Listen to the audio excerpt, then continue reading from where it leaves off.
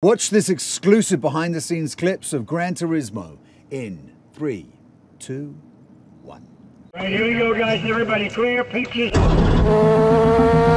The real Jann Mardenborough has actually joined the company as a stunt driver and has been driving both the GT3 race car, the Nissan race car, as well as the Nissan LMP car.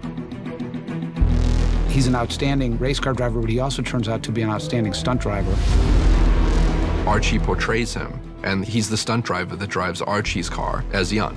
It's like some very interesting meta thing happening there. It is very weird to say that I'm playing myself as a stunt driver. There's been days where it's been a lot to take in, just seeing the scale of everything, the attention to detail. Stand by to rehearse, please. His first day of work, we had literally a thousand extras and all these race cars all lined up with the pit crews, the race car drivers. He was amazed and flattered and kind of blown away by the resources being brought to bear to tell his story. The shooting process of just the race, I think, was three weeks. So you're doing that multiple times, multiple days. It must be pretty crazy to be on set on a film where everything is there based on your life, which is very cool to have been able to bring that into reality.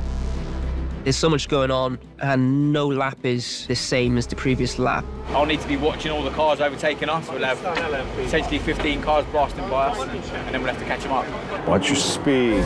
You got to be in the right place at the right time. If you're off by a split second, everything is off. Have another lap. Send them again. It's just knowing what's coming up and just being not reactive. You have to be proactive. And then you add in cars around you. Overtakes, laser focus, finish line. It's sensory overload.